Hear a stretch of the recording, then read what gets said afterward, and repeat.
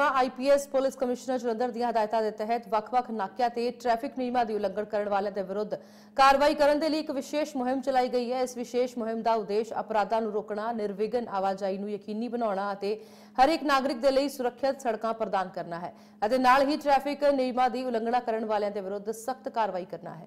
ਸ਼ਰਾਬ ਪੀ ਕੇ ਵਾਹਨ ਚਲਾਉਣਾ, ਬਿਨਾਂ ਹੈਲਮਟ ਤੋਂ ਸਵਾਰੀ, ਤੀਰੀ ਸੀਟ। ਘੱਟ ਉਮਰ ਦੇ ਵਾਹਨ ਚਲਾਉਣਾ ਅਤੇ ਲਾਲ ਬੱਤੀਆਂ ਨੂੰ ਪਾਰ ਕਰਨਾ ਤੇ ਮੋਡੀਫਾਈਡ ਸਾਈਲੈਂਸਰ ਦੇ ਨਾਲ ਬੁਲਟ ਮੋਟਰਸਾਈਕਲ ਚਲਾਉਣ ਵਰਗੀਆਂ ਉਲੰਘਣਾਵਾਂ ਦੇ ਲਈ ਟ੍ਰੈਫਿਕ ਚਲਾਨ ਜਾਰੀ ਕੀਤੇ ਗਏ ਹਨ। ਇਸ ਵਿਸ਼ੇਸ਼ ਰਾਤ ਦੀ ਨਾਕਾਬੰਦੀ ਅਤੇ ਚੈਕਿੰਗ ਮੁਹਿੰਮ ਦੌਰਾਨ ਵੱਧ ਤੋਂ ਵੱਧ ਵਾਹਨਾਂ ਦੀ ਚੈਕਿੰਗ ਕੀਤੀ ਗਈ ਹੈ ਤੇ ਸ਼ਰਾਬ ਪੀ ਕੇ ਵਾਹਨ ਚਲਾਉਣ ਦੇ ਚਲਾਨ ਸਮੇਤ ਟ੍ਰੈਫਿਕ ਨਿਯਮਾਂ ਦੀ ਉਲੰਘਣਾ ਕਰਨ ਵਾਲਿਆਂ ਦੇ ਕੁੱਲ 30 ਟ੍ਰੈਫਿਕ ਚਲਾਨ ਵੀ ਕੀਤੇ ਗਏ ਨੇ।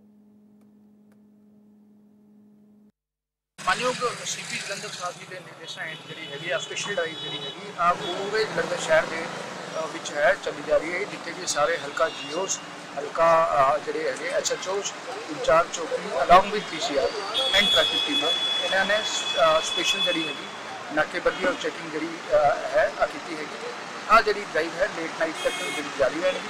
ਜਿਹੜੇ ਵੀ ਇਹਦਾ ਜਿਹੜਾ ਮੇਨ ਪਰਪਸ ਹੈਗਾ, ਉਹ ਪ੍ਰੋਪਰ ਟ੍ਰੈਫਿਕ ਜਿਹੜੀ ਵਿਵਸਥਾ ਨੂੰ ਇੰਪਲੀਮੈਂਟ ਕਰਨ।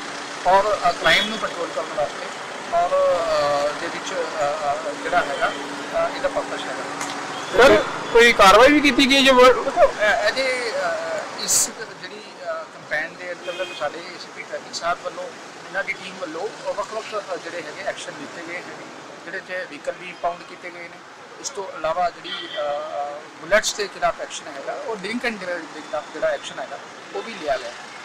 ਤੇ ਕਿਹੜੀ ਕਿਹੜੀ ਜਗ੍ਹਾ ਤੇ ਜਿਹੜੇ ਨਾਕੇ ਲੱਗੇ ਨੇ ਦੇਖੋ ਨਾਕੇ ਪੂਰੇ ਸ਼ਹਿਰ 'ਚ ਜਿਹੜੇ ਲੱਗੇ ਹੋਏ ਨੇ ਐਂਡ ਤੁਸੀਂ ਦੇਖ ਸਕਦੇ ਹੋ ਕਿ ਮਾਡਲ ਟਾਊਨ ਦੇ ਵਿੱਚ ਮੈਂ ਖੁਦ ਨਾਲੇ ਏਸੀਪੀ ਟ੍ਰੈਫਿਕ ਸਾਹਿਬ ਅ, ਮੌਜੂਦ ਹੈਗੇ ਇਸ ਤੋਂ ਇਲਾਵਾ PPR mall urban state place two BMC ਹਰ ਜਗ੍ਹਾ ਜਿਹੜਾ ਹੈਗਾ ਜਿਹੜੇ ਜਿਹੜੇ ਸ਼ਹਿਰ ਦੇ ਮੇਨ ਚੌਕ ਚੌਕ ਹੈਗੇ ਸਟ੍ਰੈਟੇਜਿਕ ਏਰੀਆ ਹੈਗੇ ਉੱਥੇ ਅਸੀਂ ਨਾਕੇ ਜਿਹੜੇ ਹੈਗੇ ਲਾਏ ਹੋਏ ਨੇ। ਤੇ ਜਿੱਦਾਂ ਕੋਈ ਸ਼ਰਾਰਤੀ ਅੰਸਰ ਜਿਹੜੇ ਫੜੇ ਜਾਂਦੇ ਉਹਨਾਂ ਤੇ ਕੋਈ ਦੇਖੋ ਜੀ ਇਹਦੇ ਚ ਅਸੀਂ ਜਲੰਧਰ ਪੁਲਿਸ ਇਸ ਸੰਬੰਧ ਦੇ ਵਿੱਚ ਪਹਿਲਾਂ ਵੀ ਇਸ ਸੰਬੰਧ ਚ ਐਕਸ਼ਨ ਕਰਦੀ ਆਈ ਹੈ।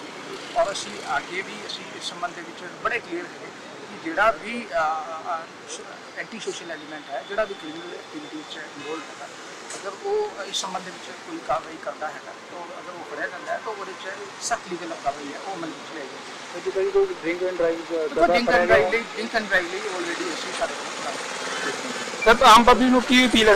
ਕੋਈ ਆਮ ਪਬਲਿਕ ਨੂੰ ਅਪੀਲ ਹੈ ਕਿ ਜਿਹੜੇ ਵੀ ਉਹ ਟ੍ਰੈਫਿਕ ਦੇ ਜਿਹੜੇ ਰੂਲਸ ਹੈ ਉਹਨਾਂ ਨੂੰ ਅ, ਜਿਹੜੇ ਪਾਲਣ ਅ, ਜਿਹੜੇ ਕਰਨ।